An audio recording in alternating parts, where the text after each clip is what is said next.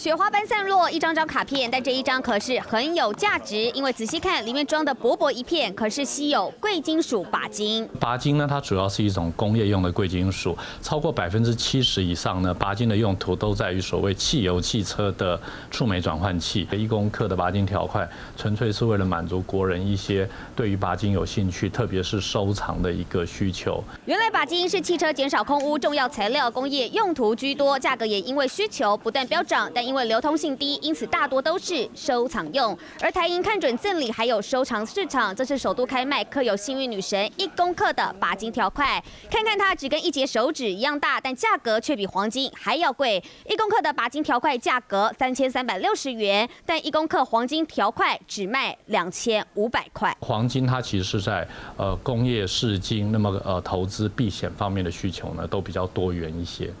毕竟钯金不是每家银楼都会买回，相比起来，黄金用途广。不过近期国际金价也不断狂飙，如果要买黄金，有专家列出近期黄金行情表。如果到美式卖场买一公斤，价格大约一百八十六点六万；但如果到银行，价格大约一百八十四点二万，比较划算。只要是印钞票继续进行，那任何时候都是进场的好买点，防范就是。国际战争上面的风险，那如果真的打起来的话，其实台湾银行的行员也不会帮你开门，势必要用黄金实体来持有。